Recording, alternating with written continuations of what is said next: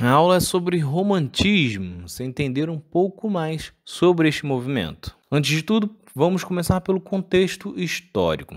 Havia ocorrido a Revolução Francesa, né, responsável pela formação da sociedade burguesa e também promovendo profundas mudanças na Europa.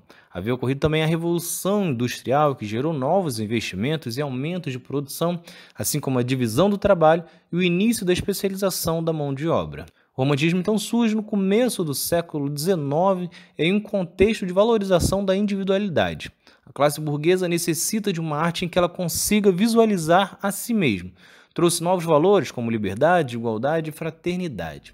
A participação do homem em fatos que mudaram as estruturas sociais passam a serem apresentados de uma forma mais emotiva e subjetiva do mundo e o momento cultural caracterizado pela expressão de sentimentos, nacionalismo, patriotismo, reformismo e valorização da natureza. As principais características é que o romantismo tinha como um dos pilares a valorização dos elementos nacionais. Com isso, era comum temas referentes ao período medieval, pois se dava a história daquela nação. As bases do romantismo foram inspiradas em fantasia, sentimento, paixão e imaginação.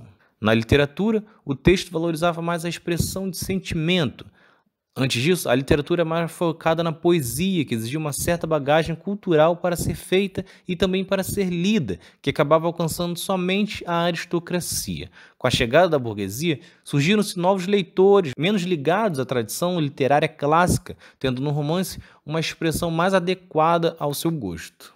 Na pintura, o foco no uso de cores e luz, a representação da natureza nas telas, pinturas chamativas trazendo uma ideia de luta pela liberdade. Romances e uma ideia de felicidade também estavam presentes. No Brasil, o índio passou a ser destaque nas pinturas em uma ideia de valorização da origem. Na arquitetura, não tinham características próprias. Os romantismos reviveram os românticos acabaram revivendo a arte medieval, no entanto, não ocorreu um abandono dos hábitos renascentistas. Na escultura, a tentativa de reviver o estilo gótico, como na pintura e na arquitetura, uma adaptação ao estilo neoclássico, como o uso da proporção e simetria.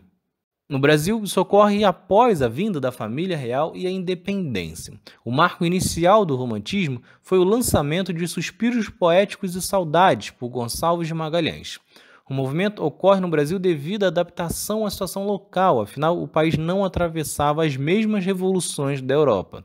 O romantismo então valorizava peculiaridades nacionais e exaltava o passado.